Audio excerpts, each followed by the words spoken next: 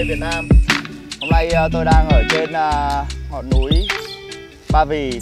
Ở đây thì đang có một chiếc ờ, Land Cruiser LC70 Kit của RC 4WD. Còn body thì của hãng Kini Body sản xuất. Chiếc xe này thì được tôi chăm chút với cả là đầu tư khá là kỹ, thêm vào nhiều đồ accessory nhiều đồ trang trí. Xe về mặt body thì được uh, độ full rồi. Nội thất thứ đầy đủ. Không thiếu thứ gì cả. À, đây là cái thùng mà có thể mở lắp ra được. Còn đây là cái à, cái này thì nó giống như xe thật ấy. Nó có một khoang để hành lý phía sau chuyên để đi phượt. Thì cái này mình mình đã để pin ở trong này bởi cái chiếc xe này ấy, để mà nó có full công năng ở bên trong ờ, về về, về nội thất thứ mà nó không bị cắt nội thất ấy thì nó còn không gian bên trong rất là hạn chế để để pin. Thế nên là mình thiết kế cái chỗ này để pin cho nó cho nó gọn.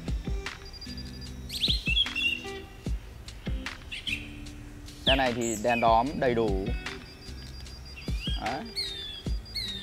À, hết pin rồi hết pin khiển rồi đang biểu diễn tí mà hết tìm kiến thế này. Thôi rồi không sao à Tắt cái khiển này đi cho nó đỡ kêu. Về à, cái chiếc xe này ấy thì à, đã được độ rất là full rồi. Nó đẹp. Về cái mặt à, scale của nó. Leo trèo anh em không thể nào mà băm bổ như những con xe độ kiểu để off-road được. Xe này nó chạy cái kiểu uh, càng giống thật càng tốt. Tức là đi như xe thật ấy mình mà đi quá đà nó sẽ rất dễ bị hỏng. Thì tất cả những cái đồ cái xe mà nó càng giống thật bao nhiêu thì các cái đồ uh, accessory nó càng tinh. Gương cái thứ này làm rất là kỹ đèn như thế này mà lăn phát xuống là đi luôn hàng đèn này luôn. Xe này tuyệt đối không được lăn lăn đổ va quệt là là là hỏng.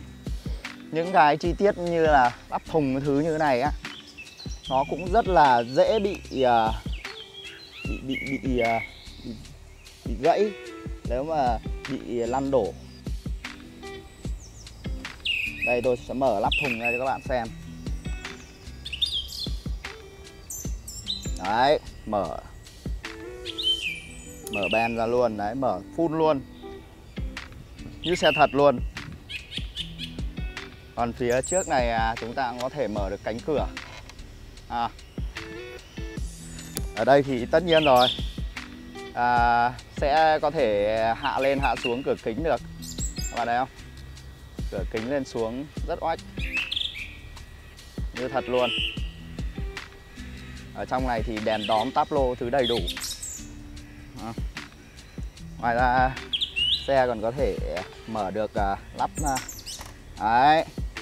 Như xe thật luôn như cái này rất tiện nha mở được cái này ra thì mình có thể điều khiển các cái chế độ điện ở trên này. Rất là dễ. Đấy một chiếc xe một chiếc xe đồ chơi.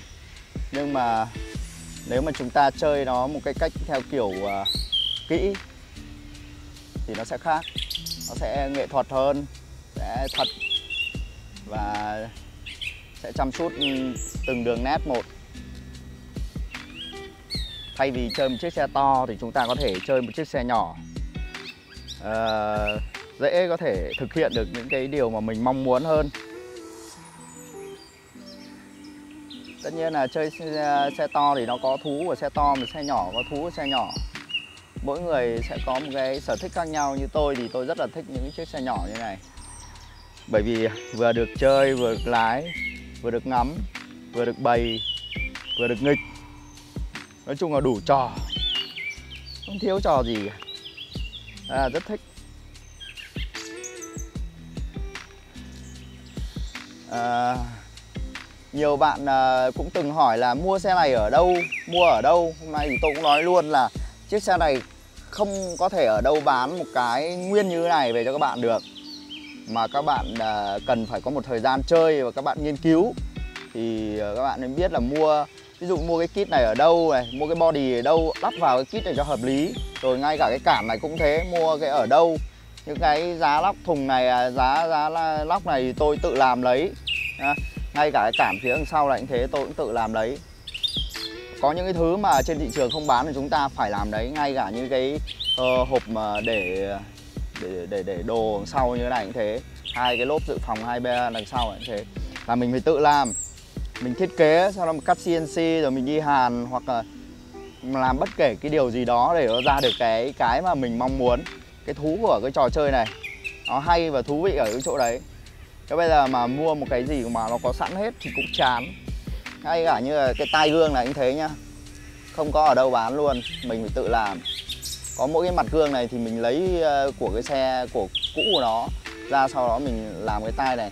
Cái tai gương này nó bằng thép mỏng và được hàn rất là kỹ. Đây là do kỹ sư đốm uh, thực hiện.